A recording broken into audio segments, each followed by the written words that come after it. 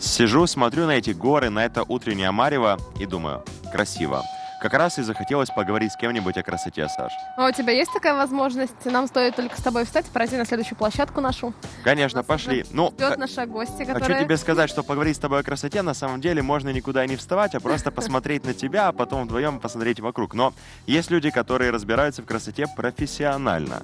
Безусловно, я думаю, что одна из них наша гостья, это Ольга Половкова, национальный директор «Миссис Вселенная» на территории Республики Крым и Севастополя. Доброе утро. Доброе утро. Ну, мы знаем, что грядет скоро какой-то большой конкурс, о котором хотим, чтобы вы нам и рассказали. Да, э, запускается впервые в Крыму а, конкурс отборочный на «Миссис Вселенная». Это конкурс называется «Миссис Вселенная Крым», при котором победительница поедет представлять Крым на «Миссис Вселенная» в Гуанчжоу 20 22 декабря по 1 января этого года. Международный уровень. Международный. На самом деле это очень масштабный конкурс, э, поскольку там, а, как правило, очень много стран-участниц. Вот э, в позапрошлом году, когда я участвовала, было 84 страны, в прошлом году было 90 стран. Ну, то есть это такое неимоверное количество красоты, красивых женщин. Ты попадаешь в эту обстановку, ты понимаешь, что можно просто потеряться в этой красоте на самом деле. Какие критерии отбора? Вот что, э, каким критериям нужно Что соответствовать, чтобы должна уметь мисс? Вселенная? Вот Мне просто интересно. Месяц, да. месяц, это для замужних женщин. Ага, месяц. Для замужних, да.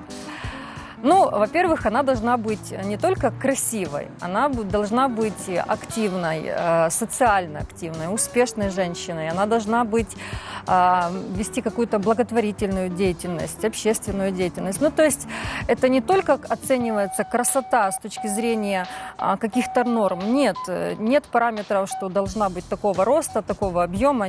Абсолютно.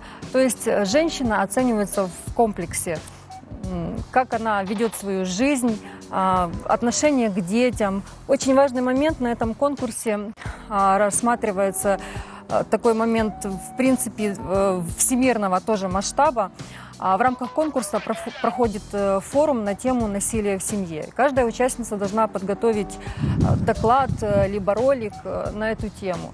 И очень много женщин, ну, как показала практика, действительно подвергаются насилию в семье, а, потому что женщины, многие участницы рассказывали о личной судьбе, о личной травме в своей жизни. Поэтому, конечно, а, было такое, что все плакали, потому что на самом деле это невозможно слушать без слез. И поднимается такая тема, чтобы как можно а, больше с ней было возможности бороться.